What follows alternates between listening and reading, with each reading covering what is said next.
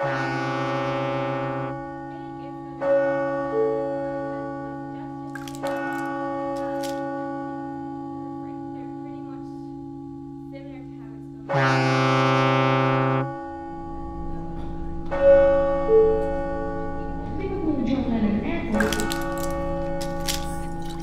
27, she does not want to be a mother. She lives with her boyfriend and they agree. She knows she can't afford another baby. She can't even afford this. She borrows money to travel. A woman. She can't. She travels to England. A woman. People of Ireland, raise your voices. We are all worthy of our right to choose. People of Ireland, raise your voices. We are all worthy of our right to choose. People of Ireland, raise your voices. We are all worthy of our right to choose.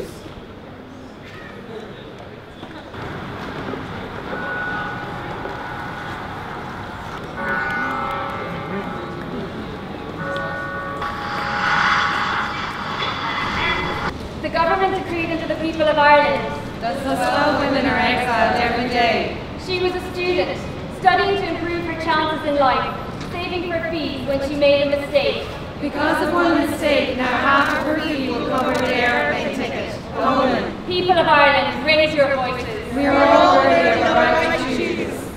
He is transgender and spent three hours at Dublin Airport to make them understand why his passport states he is female. The contraception failed once and he had to explain his life to a stranger, a man. People of Ireland, raise your voices. We are all worthy of our right to choose. She had 15 sons to her name. She was raped and is pregnant. Her parents brought her to England for an abortion. She lied to school and friends, afraid of their judgment. She said she was going to England for a funeral, a woman. People of Ireland, raise your voices. We are all worthy of our right to choose.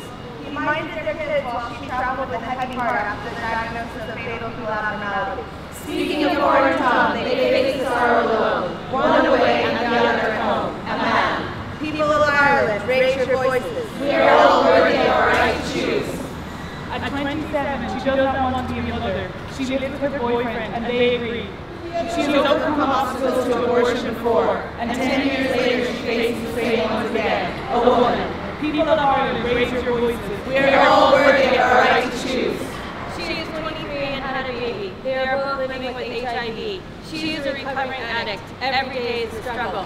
She knows she can't afford another baby. She can't even afford this. She borrows money to travel. A woman.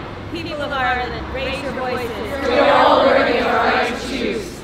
She had to travel all the way to London from Northern Ireland. Second-class citizen spied her UK passport. Even though she had paid her taxes just the same, she will not afford to cover the NHS as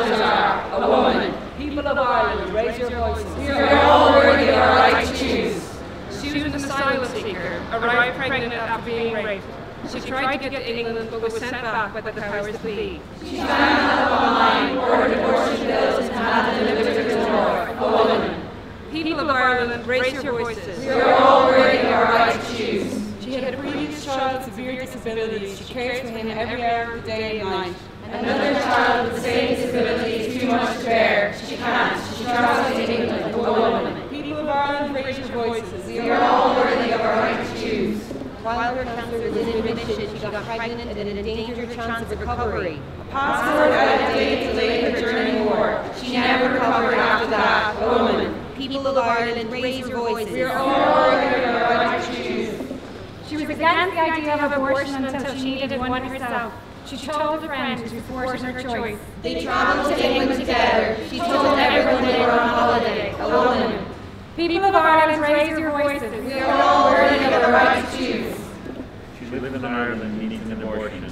She could use the but needs a way to get them from the north. How can she find someone to help her?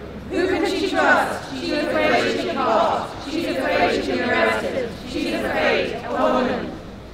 People of Ireland, raise your voices. We are all worthy of our right to choose. The government decreed unto the people of Ireland. Those 12 women that are exiled every day. The amendment was made law. And we leave as criminals of Ireland, raise your voices. We are all worthy of a right to choose. People of Ireland, raise your voices. We are all worthy of a right to choose. People of Ireland, raise your voices. We are all worthy